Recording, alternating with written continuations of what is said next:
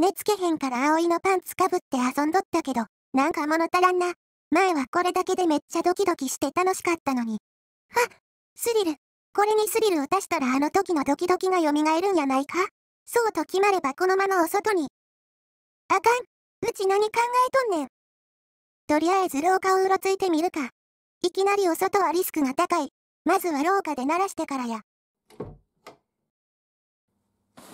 ふわぁ、お手洗い。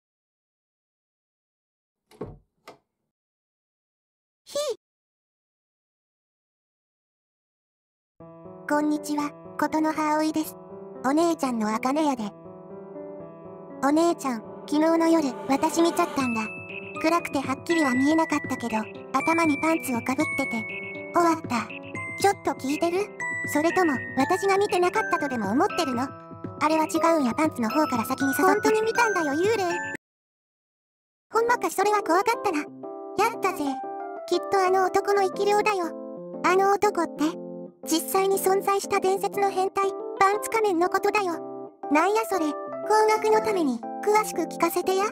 じゃあ今日は、気分はエクスタシー。でも奴とは違うぞパンツ仮面。について話すわ。ワクワク。ちょっと待って。ふう。大丈夫か？ええ、少し落ち着かないとね。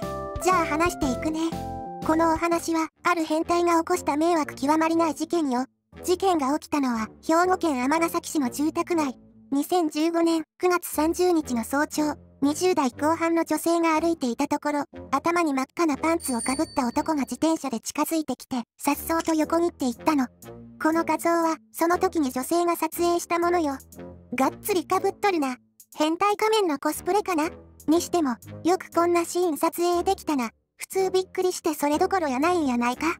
それは、女性がこの男の変態行動を撮影するために、あらかじめ準備していたからなの。え？この時点で1週間のうちに4回ほど、この男が同じ行為をしているのを目撃していたの。そして実は2年前にも同様の場面に出くわしていて、当時警察に相談に行った時に、証拠がないと事件化は難しいと言われていたの。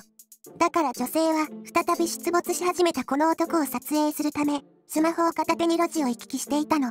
なるほど。それで撮影することができたんか。そして女性は撮影したデータを警察に持ち込んだんだけど、実はこの少し前からパンツをかぶった変な男を見たという通報が警察に殺到していたの。女性が男を撮影した2週間前には、別の女性からパンツをかぶった自転車の男に突然お尻を触られたとの通報もあったんだって。お尻を触るなんて許せへんな。お尻を触るなんて、これらの通報を受けてついに警察が動き、捜査に着手した署員らは、この男のことをパンツ仮面と呼ぶようになったわ。パンツ仮面の目撃情報はいずれも JR 尼崎駅北側で午前6時頃に集中していたの。このことから周辺の防犯カメラの映像を調べればすぐに他の女性への被害や詳細な外見の特徴を確認できると踏んでいたそうなんだけどいくら映像を確認してもパンツ仮面は見つからなかったの。え？目撃情報もたくさんあって、場所と時間帯まで分かっとるのに、なんで防犯カメラに映ってないんや？この謎については後に分かることになるわ。防犯カメラに姿が映っていなかったため、警察は別の捜査方法を取ることにしたの。その捜査方法とは、地道に連日張り込みをするというもので、女性が撮影したパンツ仮面と見た目の似た男を見つけては後を追うという、地道な捜査を続けることとなったわ。それは警察さんも大変やったな。それで結局パンツ仮面を逮捕することはできたんかええ、この張り込み作戦は功を奏して、パンツ仮面を無事逮捕できたんだけど、逮捕できたのは2016年の3月9日、およそ半年に及ぶ長期戦となったの。ちなみに逮捕理由は、女子中学生の尻を触ったとする兵庫県迷惑防止条例違反容疑よ。半年もかかったんか。ほんま張り込みしとった警察さん大変やったな。そして、なぜ防犯カメラにパンツ仮面が映っていなかったのかが取り調べで判明したの。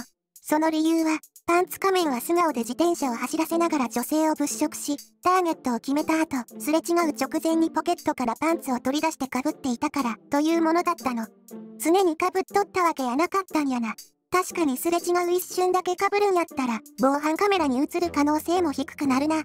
さらに取り調べで、なぜパンツをかぶっていたのか、と聞いたところ、パンツ仮面は女性の驚く顔を見ると興奮するから、と答え、なぜお尻を触ったのか、という問いには、お尻が好きだから、と答えたの。そんな恥ずかしい動機よく素直に答えたな。ただ、パンツをかぶるという発想は変態仮面からという問いに対してだけ、俺は変態仮面なんて知らない。パクリじゃない。と断固否定したの。いやどこにプライド持っとんねん。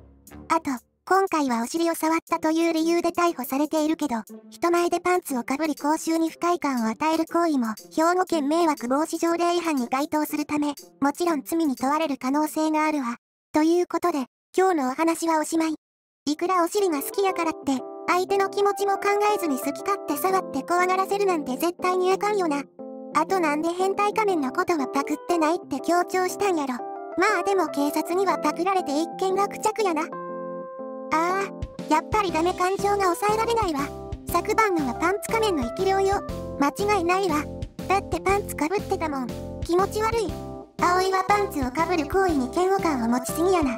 今後もし見つかった場合のことを考えてちょっと説得しとくか。なあ葵。なあにでもパンツをかぶるってそんなに悪いことなんかな？何言ってるの？悪いよ変態だよ。ええー、か葵。確かにパンツ仮面の場合は人が驚く姿を見て楽しむためパンツをかぶっとった。それは迷惑かかるからあかんな。けど今言ったようにパンツをかぶる行為自体はほんまに悪いことなんやろか。このパンツ仮面のパンツのかぶり方をもう一回よく見てみてや。鼻と口を覆うこの形状、現代では欠かすことのできひんあれに似とると思わへんか？そう、マスクや、パンツをマスクとしてかぶるんやったら問題ないんやないかな？ちょっと見てほしいんやけど、これは下着メーカーが作ったパンツマスクや、可愛いって好評らしいで。パンツ的なマスクは受け入れられるのに、パンツをマスク代わりに被るのはあかんってことはないんやないかな。そこでこのパンツマスクとパンツをマスクの両者を比較してみようか。まずはデザインや、パンツマスクは確かにええと思うけど、可愛さで言うと所詮パンツのまないものやからパンツの半分程度ってところかな。あと、パンツ仮面の場合、目的は違いとデザインのチョイスもあかんかったな。そこでこういうプロレースなんてどうやろ。原色のアイウェアと組み合わせることで、変態とは程遠いファッショナブルな印象になったな。やっぱデザインでは本物のパンツにはかなわんな。次に機能性。マスクってどうしても隙間があるよな。せやから完全にはウイルスの侵入を防ぐことはできひん。しかしパンツはどうや画像からもわかる通りゴム部分はフェイスラインにフィットしてウイルスの侵入を完全にシャットアウト。つまりパンツマスクよりマスクとして優れるパンツはマスクとしての使用に何の問題もないってことや。わかったか？わかんないよ。